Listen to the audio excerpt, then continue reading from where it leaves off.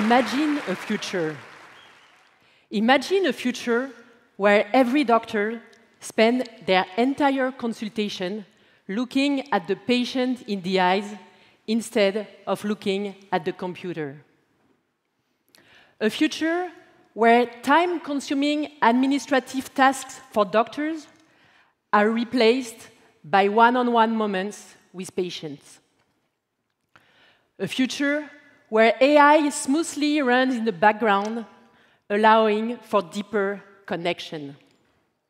And today marks the first day of this future.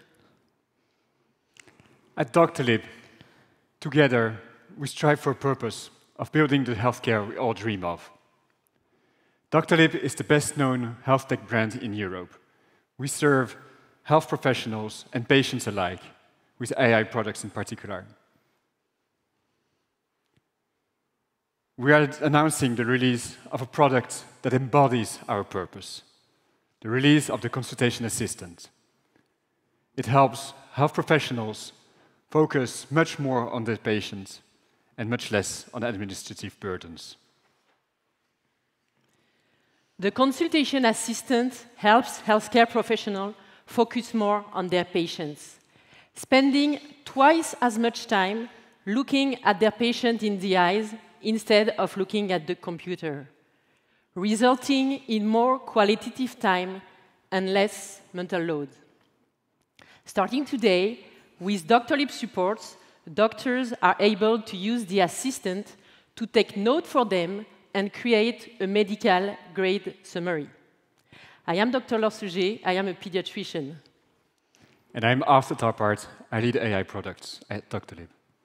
Today, you will learn about four things. First, that we do not have a AI model, but a series of them, a combination that works together. Second, I have a practical tip for you when you buy, build AI products. Fourth, third, sorry, you look at how we do data privacy at Doctolib. And fourth, any AI-related risks, and in our case, patient health risks. We are so proud I cannot resist from showing you a demo of the consultation assistant. The assistant is completely integrated in the clinical and financial software, which doctors use every day, all day long. And because we serve 90 million European users who speak all kinds of languages, I show you a demo in French with English subtitles.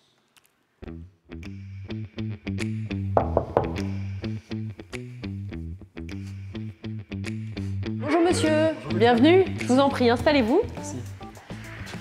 Donc je suis le docteur Seger. Je suis ravie de faire votre connaissance. Euh, je voulais vous dire avant tout que j'utilise un logiciel Doctolib d'aide à la prise de notes. Donc, dites-moi ce qui vous amène. Alors, docteur, j'ai euh, un mal au genou gauche. Euh, c'est aussi gonflé à peu près depuis mon trail à Annecy. D'accord. Et vous aviez déjà eu d'autres problèmes de santé particuliers? Il y a d'autres choses que je dois savoir? Alors, Il y a très longtemps, quand j'étais petit, il y a 25 ans, j'avais la, la, maladie de Sever au talon gauche. D'accord. Euh, après, on m'a extrait dans de sagesse euh, en 2000, euh, c'est tout. D'accord. Et dans la famille, il y a des antécédents particuliers chez votre maman, chez votre papa? Non, pas que je sache, non. Rien du tout? Ok. Euh, et donc pour revenir à cette douleur et à ce, plutôt à ce genou gauche gonflé, est-ce que vous avez eu d'autres signes associés comme de la fièvre par exemple? Alors il y a un mois j'ai eu de la fièvre, oui. D'accord. Et c'était lié à autre chose? Vous avez une infection sur le corps, des boutons, une éruption? Euh, Alors, pas à ma connaissance, mais mon épouse me dit qu'il y a peut-être quelque chose de bizarre dans mon dos. Ok, bon, on va regarder ça. Est-ce que vous avez déjà été piqué par des tiques? Alors, moi, je fais très attention à mes premiers trails et je pense pas, non. Non. D'accord.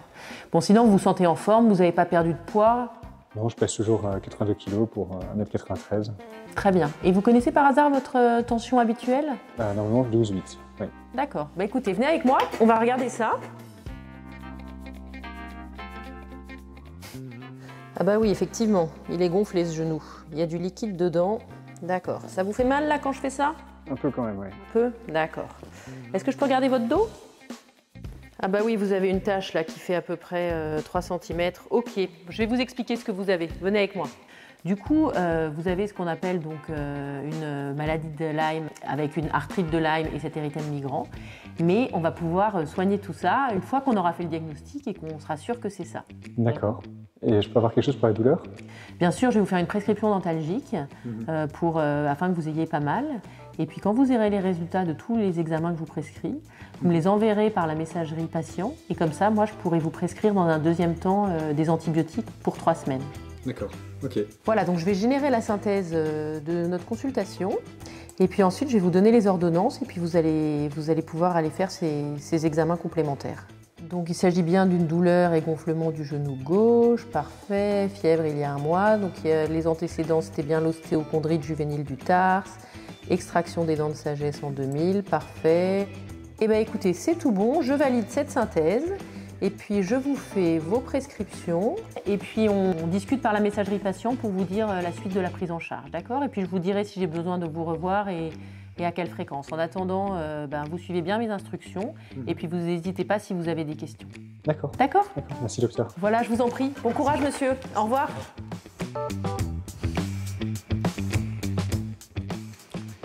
Thank you, Arthur, for being such a good patient. Did my best. Thank you, everyone, for uh, watching this mock uh, consultation. So, as you saw in the video, the, the consultation assistant summarized the consultation for me, transforming the patient words into medical terms, identifying the patient medical history, the patient biometrics, and arranging them at the good place in the files. The synthesis was exhaustive and very accurate. How does it happen behind the scenes? Let me show you a diagram of it. So we don't have one model, but a series of them. I think you can recognize top left two persons that could be myself and Laure.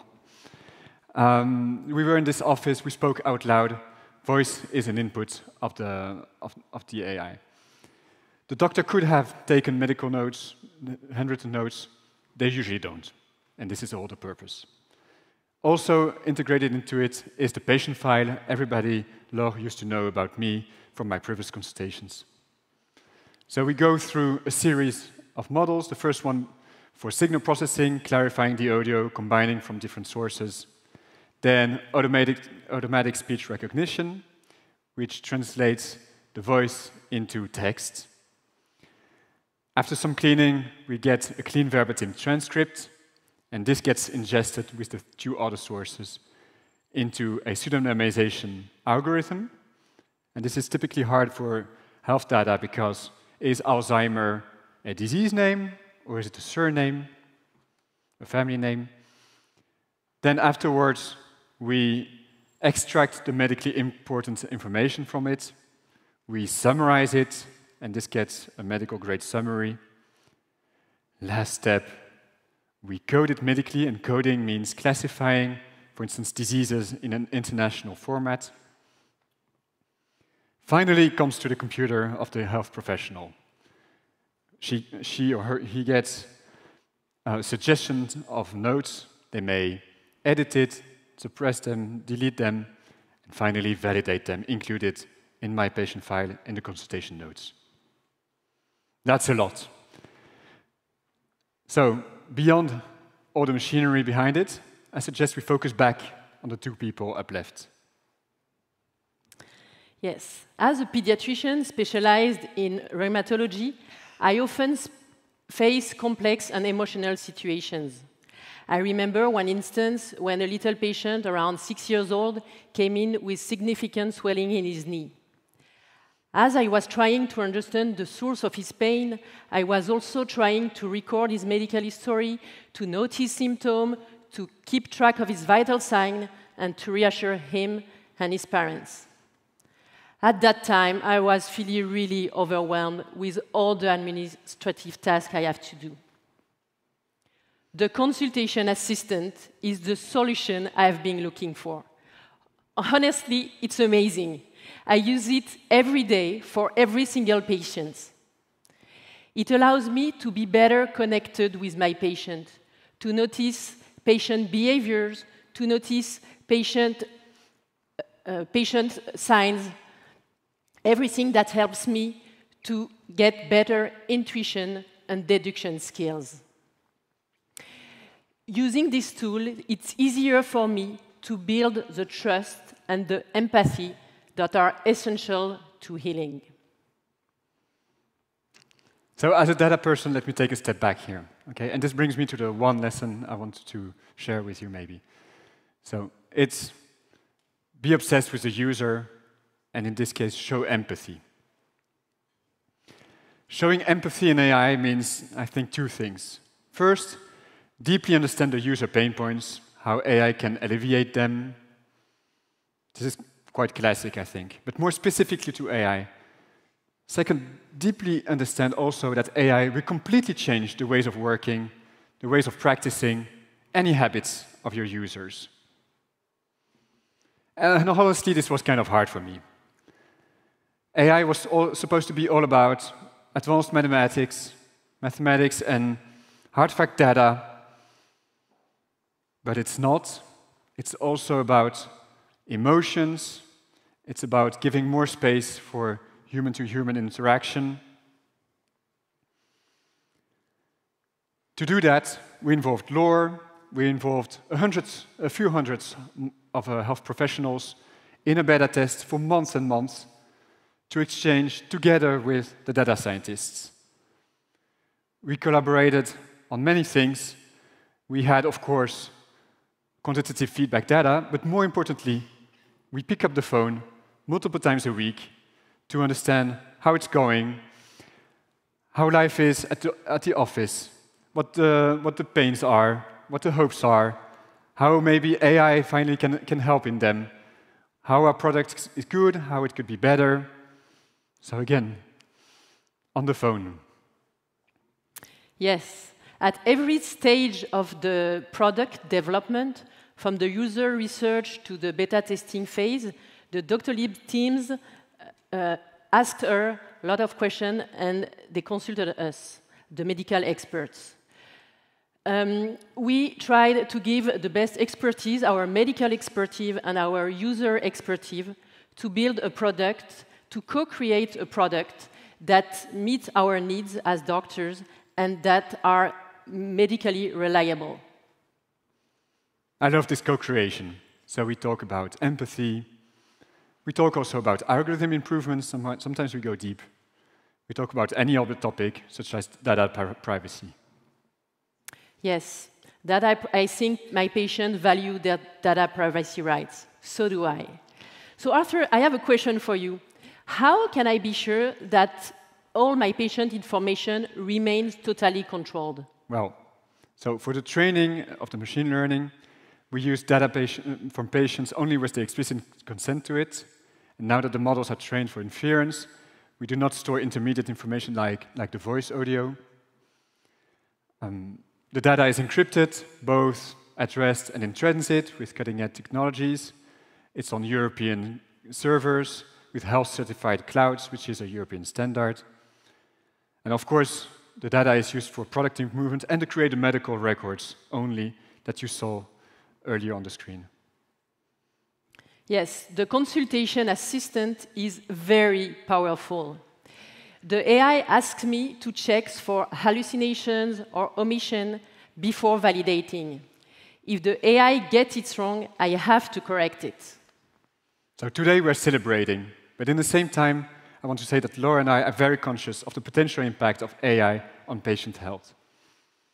So this means we monitor errors, we suppress errors, we do it with algorithm improvements, and we do it also with the user interface and user experience to nudge the practitioner into verifying and validating. And this is how we ensure that AI has the most impact for health practitioners, but also, in fact, patients, I, I personally believe. If you too, you want to make AI interfaces maybe take a step back in the background, and on the contrary, augment the human space, join innovative companies to drive the change. Thank you. Thank you.